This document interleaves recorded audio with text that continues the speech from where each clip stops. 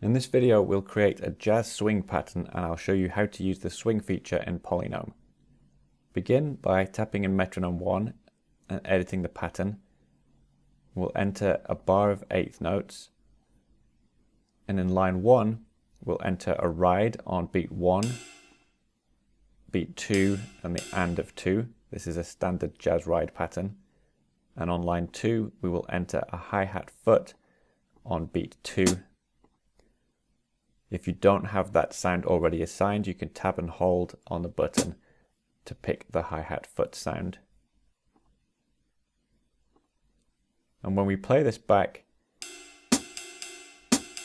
it plays as straight eighth notes.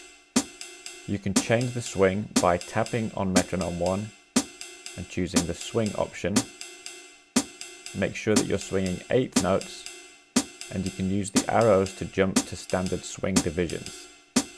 So you have triplet swing and dotted note swing.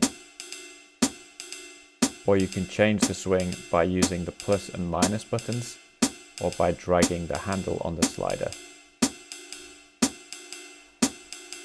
You can also control the swing from the swing fader in the mixer.